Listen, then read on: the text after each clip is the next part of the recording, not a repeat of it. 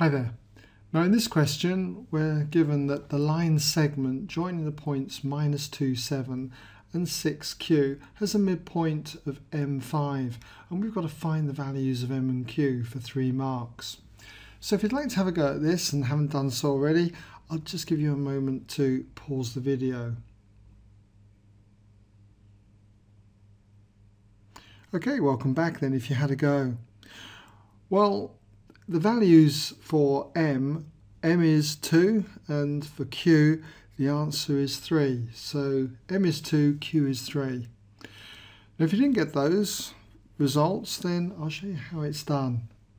What you've got to remember is that the midpoint of two points, let's say A and B, with coordinates x1, y1 and x2, y2 respectively, that midpoint is given as the mean of the x coordinates and the mean of the y coordinates.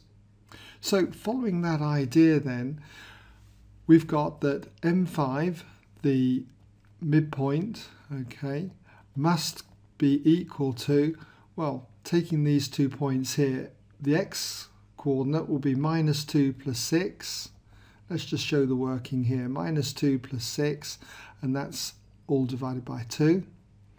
And for the y coordinate, it will be 7 plus q divided by 2. Okay. So when we compare this, okay, if we look at the x parts, okay, we've got that m must be equal to minus 2 add 6, which is 4, divided by 2, which is 2. When it comes to looking at the y coordinate, we've got 5 here then, equals 7 plus q over 2. And if we multiply both sides by 2, we end up with 10 equals 7 plus q. And then obviously if we take 7 from both sides, q will equal 3. Okay, so m equals 2, q equals 3.